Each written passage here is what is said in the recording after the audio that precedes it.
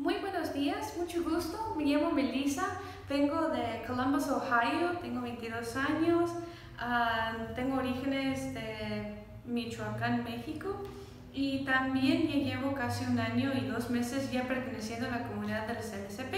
Entonces, hoy lo que vengo a compartir, mediante nosotros estamos queriendo tener un encuentro más con la palabra de Dios, un, un desarrollo hacia, querer, hacia querernos enamorar más de su palabra. Vamos a mirar cómo nos va a estar hablando mediante este curso Tu Salvación también. Entonces, porque como todo tiene un comienzo, todo tiene un principio, desde el momento en que nosotros somos concebidos en el vientre de nuestra madre y hasta las pequeñas flores que apenas van a florecer o todos los uh, insectos también que van a tener un, un, una misión también en la tierra, todo, todo, todo tiene un comienzo. Entonces por eso vamos a comenzar también desde el comienzo de la Biblia, pero para poder hacerlo vamos a tener que también ponernos en oración para que pues podamos tener esta gracia que Dios nos, nos concede a través de los salmos. Vamos a buscar en nuestras Biblias el Salmo 8. Entonces vamos a comenzar en nombre del Padre, del Hijo, del Espíritu Santo. Amén. Señor soberano nuestro, tu nombre domina en toda la tierra, tu gloria se extiende más allá del cielo. Con alabanza de los pequeños, con los niñitos de pecho, has construido una fortaleza por causa de tus enemigos, para acabar con rebeldes y adversarios. Cuando veo el cielo que tú mismo hiciste, y la luna y las estrellas que pusiste en él, pienso, ¿qué es el hombre? ¿Qué es el ser humano? ¿Por qué lo recuerdas y te preocupas por él? Pues lo hiciste casi como un Dios. Lo rodeaste de honor y dignidad. Le diste autoridad sobre tus obras. Lo pusiste por encima de todo, sobre las ovejas y los bueyes, sobre los animales salvajes, sobre las aves que vuelan por el cielo, sobre los peces que viven en el mar, sobre todo lo que hay en el mar. Señor soberano nuestro, tu nombre domina en toda la tierra. Gloria al Padre, al Hijo y al Espíritu Santo, como era en el principio, ahora y siempre, por los siglos de los siglos. Amén. Señor, te agradecemos por tu inmensa bondad con nosotros, tu amor y misericordia que nos has permitido ahorita ten, tener ese aliento de vida que tú nos has compartido, que también podremos así contemplar tu presencia a través de tu creación que has creado para nosotros. También para que todo lo que aprendemos a través de este tema lo compartamos con los demás que nos rodean, para que también puedan experimentar tu gran amor y bondad. Amén. En nombre del Padre, del Hijo y del Espíritu Santo. Amén. Ok, entonces, como había mencionado, todo tiene un comienzo, un comienzo, ¿verdad? Entonces, el tema, Dios creó todo lo que existe. Vamos a buscarlo. Vamos a buscar el capítulo 1, versículos del 1 al 2. Y si lo tienen, también pueden acompañar. Entonces dice, en el comienzo de todo, Dios creó el cielo y la tierra. La tierra no tenía entonces ninguna forma. Toda era una mar profunda, cubierto de oscuridad, y el Espíritu de Dios se movía sobre el agua. Palabra de Dios, te alabamos Señor. Entonces, aquí desde el comienzo, como lo ha dicho el, el versículo 1, Dios creó el cielo y la tierra. Entonces, eso significa que nada más tenemos un solo Dios creador. No tenemos que Dios del sol, que Dios de la flor, que Dios del fuego, que Dios del aire. No, es nada más un solo Dios creador. Porque si nos ponemos a pensar, ok, si hay muchos dioses que han creado todo lo que nos rodea, entonces, ¿cuál es el que es más de todos? ¿Cuál es el que es más omnipotente que ellos? ¿O cuál es el que tiene más poder y tiene um, su dominio en toda la tierra? No, no, no, no, no. Quizás los griegos a, a, aceptaban esa creencia, pero nosotros tenemos nuestra fundación aquí, como les dice en, en su propia palabra, que Dios creó. Y así como Él creó, también tomó esta, esta, esta nada, esta forma que no tenía ni belleza, esplendor, y, y en sí su espíritu movía sobre el agua. Quiero que se pongan a imaginar a cuando pues nada había existido, que no había pues nada más que oscuridad. Entonces, los invito a que, invite, a, a, cierren, a que cierren sus ojos por un momento y así nada más pueden escuchar el silencio, pueden mirar nada, quizás la, el reflejo de la última cosa que han visto todavía está allí, pero así es como pudo haber sido el comienzo, el inicio de todo, que no hay nada ni de belleza ni esplendor. Y así es como Dios tomó eso y después lo convirtió en algo. Por eso vamos a continuar en el libro de Génesis, capítulo 1, versículos del 3 al 8. Y todavía, si pueden mantener sus ojos cerrados, por favor. Entonces Dios dijo, que haya luz, y hubo luz. Al ver Dios que la luz era buena, la separó de la oscuridad, y la llamó día, y a la oscuridad la llamó noche. De este modo se completó el primer día. Después Dios dijo, que haya una bóveda que separa las aguas, para que éstas queden separadas. Y así fue. Dios hizo una bóveda que separó las aguas. Una parte de ellas quedó debajo de la bóveda y otra parte quedó arriba. A la bóveda la llamó cielo. De este modo se completó el segundo día. Palabra de Dios, te alabamos Señor. Entonces, ahora sí pueden abrir los ojos y se van a dar cuenta, wow, pues, o pueden pensar, no me había dado, cuánto, no me había dado cuenta qué tan hermosa estaba mi casa o necesita ahorita la casa o qué, cuánta luz hay. Ante todo, eso es lo primero que notamos como seres humanos. Porque al estar mucho tiempo en la oscuridad, como que lo que más te impacta es la luz. Porque eso es penetrante, es pues lo que se argumenta, que la luz es más uh, rápida que el propio sonido, por eso cuando hay una tormenta o algo, primero ves la luz y luego se retumba todo, toda la tierra, ¿verdad? Aquí se demuestra que Dios, al, al separar la luz de la, de la oscuridad, eh, demuestra su grandeza, demuestra su, su benevolencia, porque uh, así es como se completó el primer día. Y después es cuando Él quiso separar las aguas y la bóveda, que viene siendo el cielo. ¿Y por qué tomar esta orden? Porque cuando hay orden es cuando todo lo demás se va a quedar en su propio, se queda en su propio lugar. Y eso es lo que nos ayuda a poder después a hallarlo, a buscarlo. Entonces, ah, por eso hay una enseñanza que tenemos en nuestra comunidad que dice, cuida del orden y el orden te cuida a ti. Entonces, al mantener esa orden, vas a hallar que la, la vida se va a hacer más, uh, no fácil, pero se van a facilitar las cosas. Porque cuando uno tiene todo ordenado ahí en su casa o en su cuarto, entonces hasta se refleja lo que uno tiene en, nuestro interior. Por ejemplo, había una vez uh, en, en, los cursos pasados una señora que, ya pertenecía a los cursos y decía ella que uh, pues ella antes de tomarlo este primer curso, este primer tema, que su casa pues no estaba muy ordenada, llevaba tiempo sin confesarse, no llevaba una buena relación con su esposo, cayó en la depresión y en la ansiedad. Y después de que alguien le fue a llamar la atención, oye, si te ayudo a limpiar la casa, mira, mejor toma la iniciativa que también vayas a la iglesia, a, que te confieses, siempre cuando tienes esa disposición y esa disponibilidad. Y, y así, poquito a poquito, fue no nada más manteniendo la orden dentro de su interior, sino también de dentro de su casa, porque después de que todo fue acomodándose, todo fue de acuerdo en su lugar, y hasta el aire que se respiraba era como nuevo, y ella se dio cuenta, wow, no me había dado cuenta de algo tan sencillo que pude yo llevar a cabo en mi casa y así aún se fue transformando mi vida. Porque eso así, eso es, Dios es un, un Dios de orden, un Dios de, de, bondad, porque aquí como lo dijo, dijo que vamos a ir descubriendo que todo lo que Dios hizo lo hizo bueno. Así es nuestro Creador, que nos quiere compartir su bondad a través de su grande creación. Entonces, por eso no hay que tener que ir tan lejos o viajar tan lejos para poder ver las maravillas de Dios.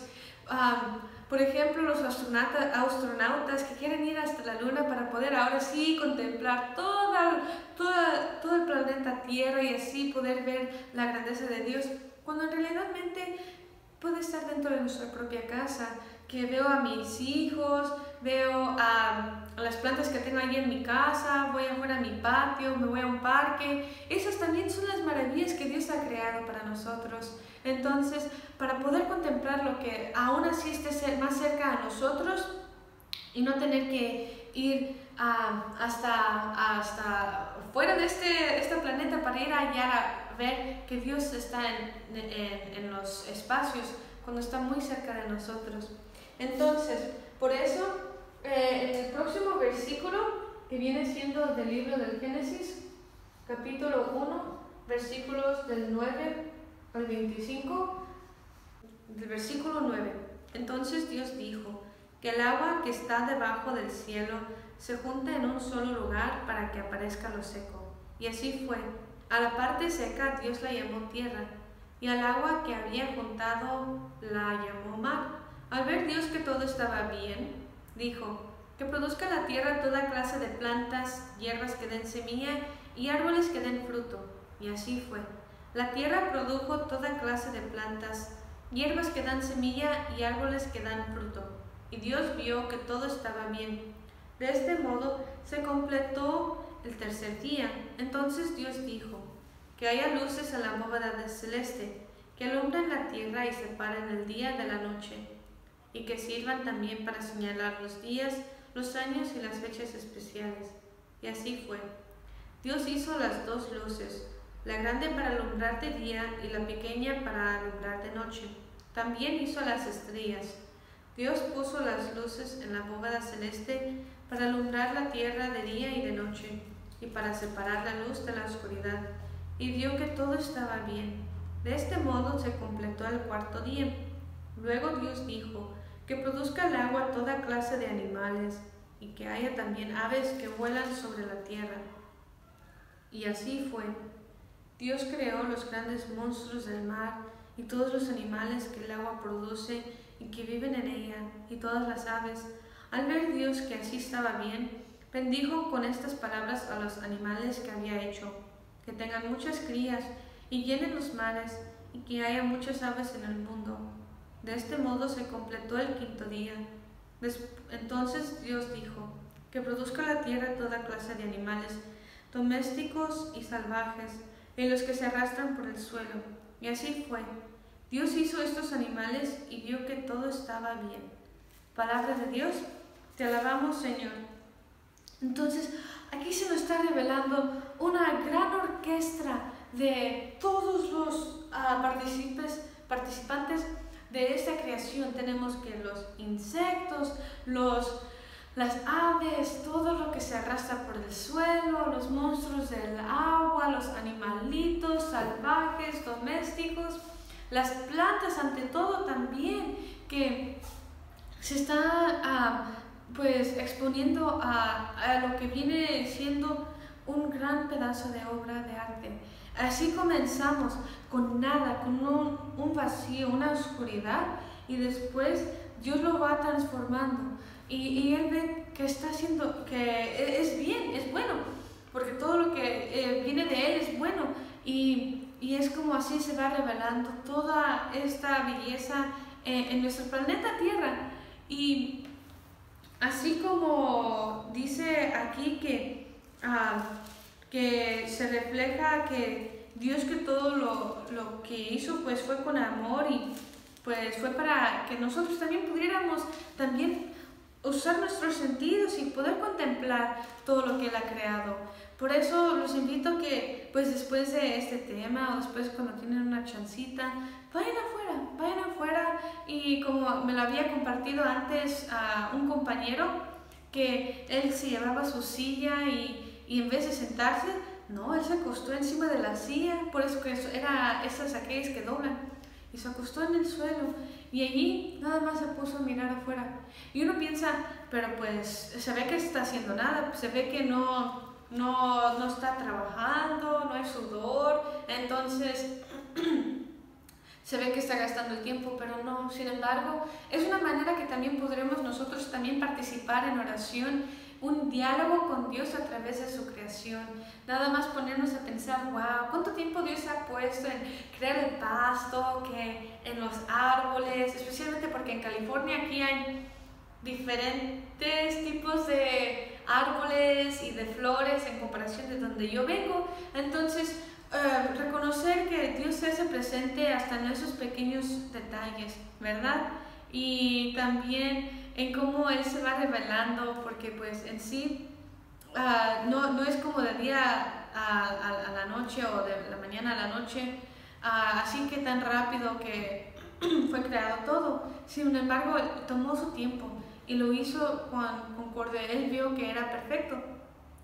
Uh, así también pues nosotros que tenemos nuestros cinco sentidos, que tenemos la vista, el oído para escuchar los, las canciones de los pájaros, para poder nosotros ver los pájaros, hasta tenemos nuestros, nuestros, ah, ah, nuestras manos para poder sentir las flores, las hojas y, y, hasta respirar lo que viene siendo cómo, se, cómo huele la primera primavera en California o cómo huele el otoño después de la lluvia o algo así.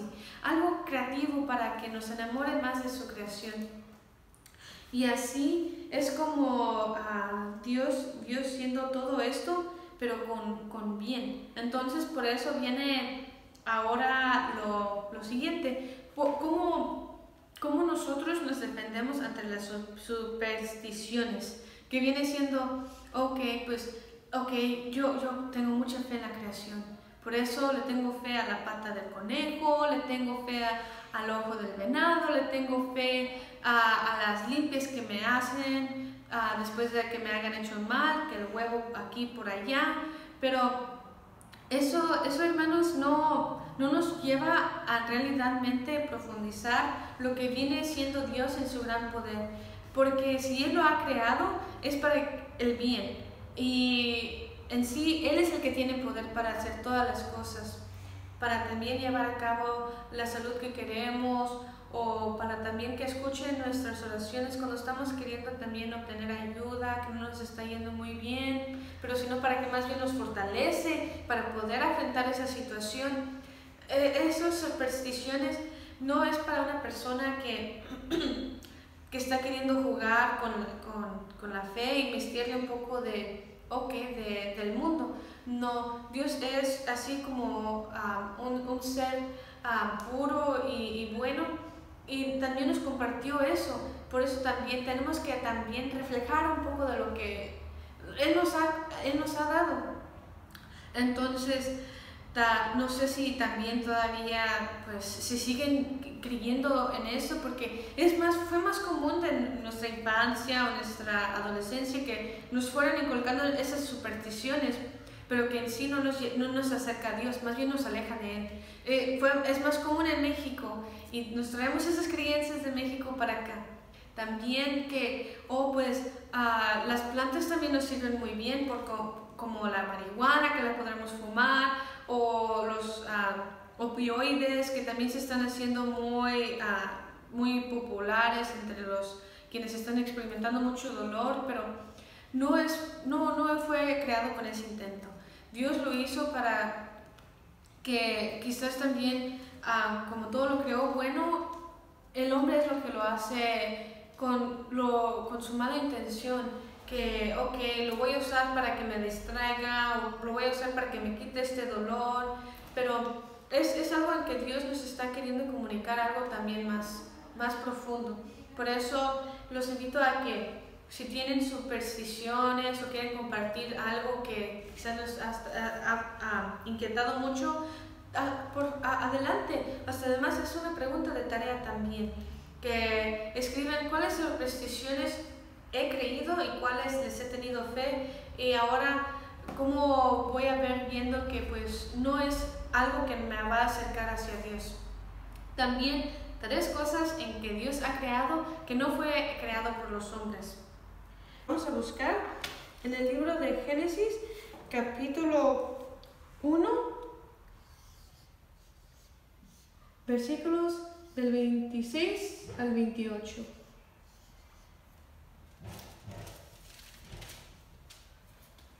Y dice, entonces dijo, ahora hagamos al hombre a nuestra imagen. Él tendrá poder sobre los peces, las aves, los animales domésticos y los salvajes, y sobre los que se arrastran por el suelo. Cuando Dios creó al hombre, lo creó a su imagen, varón y mujer los creó, y les dio su bendición. Tengan muchos, muchos hijos, llenen el mundo y gobiernenlo, dominen a los peces y a las aves, y a todos los animales que se arrastran. Palabra de Dios, te alabamos Señor. Entonces, si tomamos desde el versículo 26, ahí dice, ahora hagamos al hombre a nuestra imagen. Entonces, quisiera invitarlos a que se pongan a reflexionar y pensar, ok, si Dios nuestro creador estuvo presente allí para poder crearnos, ¿a quién se pudo haber referido cuando lo estaba diciendo? Él se estaba refiriendo a Dios Padre, Dios Hijo y Dios Espíritu Santo. Los tres, las tres divinas personas a quienes nosotros reconocemos que es un solo Dios, uno y trino, eh, es el que estuvo presente en nuestra creación. Hagámoslo a nuestra imagen, hagámoslo con nuestra inteligencia,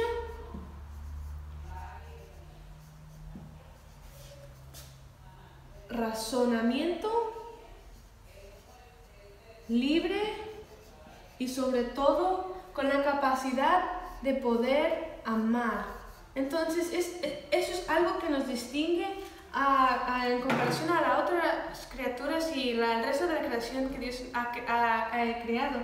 El poder amar. Entonces, él, nos dio esa capacidad que nos distingue de, de todo lo que Él también ha creado. Sí, reconocemos que entre las mascotas pues se puede llevar a cabo un amor, entre los mismos chimpancéses también se puede llevar a cabo un amor, pero nuestro amor es, va más allá, es más ah, incondicional. Entonces, a nosotros también ser llamados para también llevar a cabo un amor más grande que a veces también puede superar nuestros propios límites, es porque es un reconocimiento o recordarnos que, ok, pues Dios me ha creado para más, Dios me ha creado con este don y así poder llevar a cabo su misión, que dice, ah, cuando Dios creó al hombre, los, lo creó a su imagen, varón y mujer los crió y les dio su bendición. Entonces, ¿cuál es la misión del hombre y la mujer aquí en el mundo? Es para también procrear vida aquí en la tierra, ayudarle a Dios a, a que tengan muchos, muchos hijos, porque esa es parte de la misión que Él les ha encomendado aquí en la tierra. Pero ah, en sí también llevar a cabo el sacramento del matrimonio, porque aquí les dio su bendición. Entonces, para aquellos que piensan que el matrimonio, pues, eh, es ah, nada más para que pues, se, tenga la fiesta, nada más para llevar a cabo un ritual más, nada más es parte de la tradición. No, aquí tenemos bíblicamente, aquí en el libro de Génesis, que el matrimonio es más allá, es que ahí se está haciendo no solamente el sacerdote testigo, no, está representando a Cristo ahí como testigo, reconocer que en ese, en ese sacramento Dios está allí presente y también queriendo reconocer, ok, si ellos se presentan ante mí con este acto de amor muy grande, es porque pues en realidadmente sí se aman. Es para que viven juntos en, en comunidad. Y les dio también este Uh, este don de poder dominar a los peces y a las aves y todos los animales. Entonces no es para que también nosotros nos sobrepasamos con nuestro propio poder, hay, aquel que pues se, le da el poder y ya no, ya no lo vuelves a poder reconocer porque ah, es como si le das a alguien mucho dinero. Vas a ver cómo es su carácter en realidad cuando le des tanto dinero y tanto poder. Así como nuestros gobernantes y líderes ahora nuestra, en nuestra sociedad, diles qué es lo que los motivó para tomar esa posición o para ayudar a la gente, para poder hacer un cambio en la sociedad, pero en realidad no vemos ese cambio que tanto deseamos. Ellos lo vieron con un provecho y un beneficio propio para poder así tomar a cargo de las responsabilidades que en sí no, no se ven y no son muy realistas y hacer falsas promesas. Pero también, si tanto queremos nosotros tomar ah, posesión de la creación, no dejar que la misma creación nos domine a nosotros, aunque no va a suceder, pero ah, la piel de león o la piel de tigre es muy valiosa. También los, ah, los dientes de elefante también son muy valiosos, pero en sí también se se, se disminuyen los, los, los sentimientos de estos animalitos, que también son criaturas y creación de Dios, para que el hombre también se pueda beneficiar y tener provecho de lo que puede obtener, porque son muy vulnerables. Obviamente se van a defender, pero el hombre se cree más porque tiene pistolas, porque tiene armas, porque tiene algo tranquilizantes pero en sí la, la, la naturaleza no, no es algo que puede perdonar tan fácilmente. Nos puede perdonar Dios, nos puede perdonar el hombre, nos puede perdonar ah, hasta lo que nosotros quizás hicimos con intención mala, pero la naturaleza nunca nos va a perdonar si es que queremos agredir, agredirla. También, ah, como lo dice aquí en Ah, en, el, en el libro de Génesis, capítulo 2, versículo 7, dice, entonces Dios el Señor formó al hombre de la tierra misma y sopló en su nariz y le dio vida. Así el hombre se convirtió en ser viviente. Palabra de Dios, te alabamos Señor. Aquí nos hace recordar que de la tierra somos y en tierra nos convertiremos, así como para los quienes también somos partícipes de la misa de los, del miércoles de ceniza, que, antes de ponerte la ceniza dicen, ok, polvo eres y en polvo te convertirás, porque eso es, así, así es nuestra vulnerabilidad. somos muy vulnerables. Este cuerpecito tan cute es para que después los, los, gusanos se lo van a andar comiendo ya después de nuestra muerte, de nada nos va a servir. Pero, sin embargo, es para que recordemos, ok, esto es temporario, esta vida que vamos a pasar por aquí, para que después Dios nos va a pedir, ok, ¿cuánto amaste? ¿Cuánto diste a conocerme allá afuera? ¿Cómo, cómo, ¿De qué usaste mi creación? ¿Cómo lo usaste para poder contemplarme y alabarme? Y es porque su gran amor lo, lo dio a conocer a través de que cuando nos sopló en la nariz para darnos vida. Es para reconocer que así es como tenemos vida, nada más a través de Él, porque como comenzamos con el mundo, que era nada, un vacío, la oscuridad, para que Dios después se interponiera y empezó a crear y dio a conocer que a través de su creación después puede existir el hombre. Entonces, el hombre no es nada sin Dios. Para poder concluir, vamos a buscar en el libro de Génesis, capítulo 2, versículos del 18 al 24.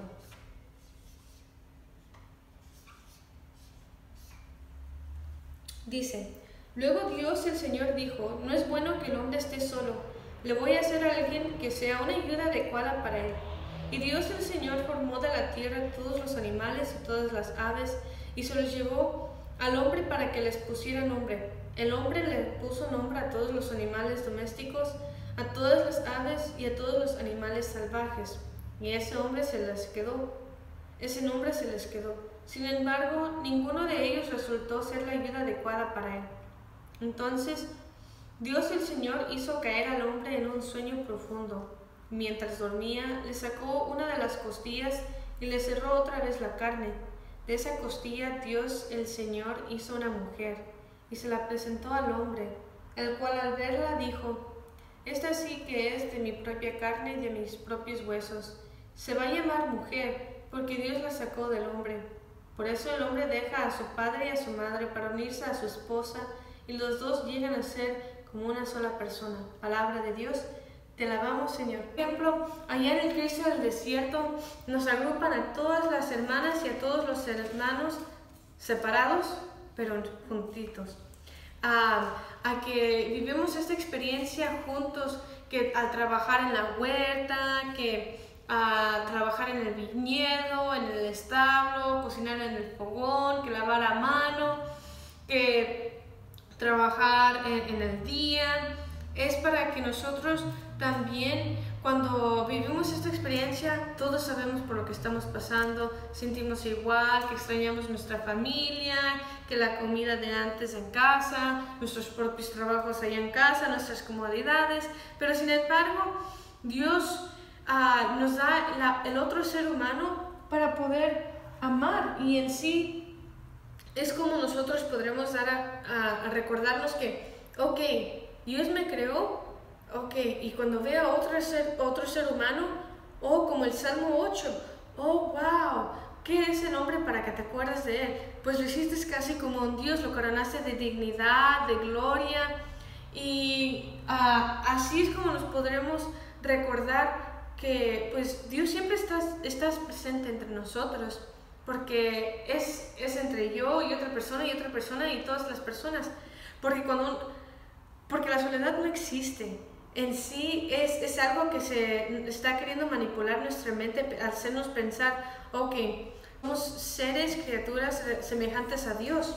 Y entonces, cuando Dios le dio este trabajo, él, él no se quejaba diciendo, oh, pues, pues no me da ganas de nombrar todos estos animales, pero sin embargo lo hizo y les dio nombres para que se quedaran con esos nombres. Y fueron miles y miles de especies que tuvo que nombrar y él solito. Entonces, yo si me tocara uh, pues cocinar en el fogón o nombrar a 122 especies, pues preferiría cocinar en el fogón. Es que pues algo que, nos cuesta, si nos esfuerza, es para también nosotros poder alcanzar la santidad a través de ese medio, pero siempre y cuando también lo hagamos con amor. Y, eh, y para poder concluir de que um, Dios sacó a la mujer del hombre, la sacó ni muy arriba ni muy abajo del hombre, sin embargo fue en la costilla. ¿Por qué? Porque sí, dicen que oh, es porque está cerca del corazón, que es romántico, o le sacó la costilla, la costilla y no el pie, porque el pie lo ocupa para caminar. No, es para que nos reconocemos, nos recordemos que Dios nos hizo seres iguales. Sí, e, es, es importante reconocer, ok, que a veces el hombre de la familia es el que tiene eh, la última palabra en, en, tomar una decisión o también es el que se... Se, se, trabaja y se esfuerza para conseguir los bienes para el hogar, pero la, la, mamá también, o la mujer también tiene en sí una muy grande responsabilidad. Tiene también su rol también dentro de esta familia, porque se ocupan dos para poder formar una familia. Y no puede ser un hogar si no, no, no en sí no tiene la, la familia bien formada. Por eso el hombre deja a su padre y a su madre para unirse a su esposa y los dos llegan a ser como una sola persona. Y así es como Dios ha revelado su gran amor con nosotros para que también no solo nos quedemos con ese amor, sino también nos demos a conocer. Por eso les invito a que amen a sus esposas, amen a sus esposos si están casados o si no, esperen y manténganlo en oración porque es así como también Dios se, se va revelando dentro de una familia. Uh, especialmente cuando hay esas virtudes y esos uh, anhelos de querer ser una familia santa. También en recordar que Dios hizo todo esto en, en, en querer compartir nosotros su, su, gran, su gran amor. Por eso vamos a querer concluir con una oración, queriéndole agradecer a Dios por su grande misericordia con nosotros y por darnos a conocer también de su palabra. En nombre del Padre, del Hijo, del Espíritu Santo. Amén. Señor, te agradecemos en esta tarde que nos has concedido para poder aprender más sobre tu palabra creadora, tu palabra que transforma, tu palabra que nos permite uh, querer cambiar nuestra forma de pensar y así también llevar a cabo este amor y misericordia que nos has demostrado no solo dentro de nuestro hogar, Señor, sino también allá afuera, para que demos testimonio de la gran ah, obra que has ah, hecho también en nuestras vidas, así como nos has eh, creado únicamente, también es para que también te podremos servir de una manera que te agrade, en la manera en que tú ves que es posible. En nombre del Padre, del Hijo y del Espíritu Santo. Amén. Pues muchas gracias por querernos acompañar. Vamos a querer también seguir continuando con los cursos para que también mediante vayan aprendiendo más sobre la palabra de Dios, también vayan reconociendo cómo Dios ha actuado en sus vidas y cómo se va desarrollando nuestra propia historia de salvación. Gracias.